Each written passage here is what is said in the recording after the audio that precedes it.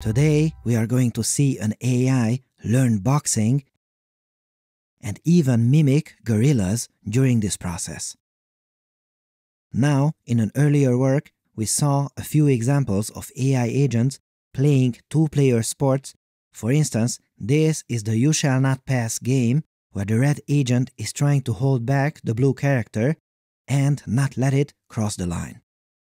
Here you see two regular AIs duking it out, sometimes the red wins, sometimes the blue is able to get through.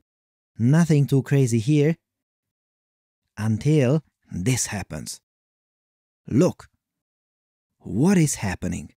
It seems that this agent started to do nothing and still won.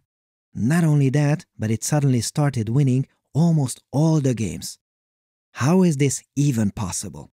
Well, what the agent did is perhaps the AI equivalent of hypnotizing the opponent, if you will. The more rigorous term for this is that it induces off-distribution activations in its opponent. This adversarial agent is really doing nothing, but that's not enough. It is doing nothing in a way that reprograms its opponent to make mistakes and behave close to a completely randomly acting agent.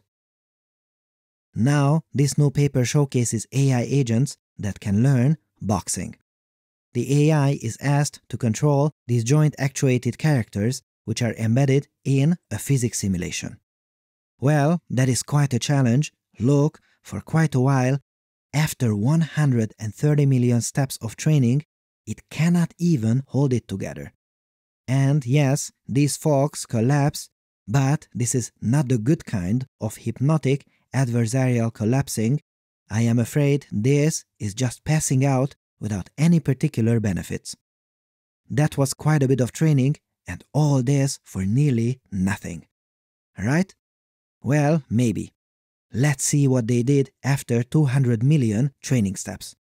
Look, they can not only hold it together, but they have a little footwork going on and can circle each other and try to take the middle of the ring. Improvements. Good. But this is not dancing practice, this is boxing. I would like to see some boxing today, and it doesn't seem to happen. Until we wait for a little longer which is 250 million training steps. Now, is this boxing? Not quite. This is more like two drunkards trying to duke it out where neither of them knows how to throw a real punch, but their gloves are starting to touch the opponent and they start getting rewards for it. What does that mean for an intelligent agent? Well, it means that over time it will learn to do that a little better. And hold on to your papers and see what they do after 420 million steps. Oh wow! Look at that!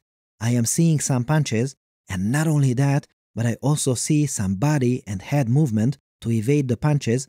Very cool. And if we keep going for longer, whoa! These guys can fight. They now learned to perform feints, jabs, and have some proper knockout power too. And if you have been holding onto your papers, now squeeze that paper because all they looked at before starting the training was 90 seconds of motion capture data.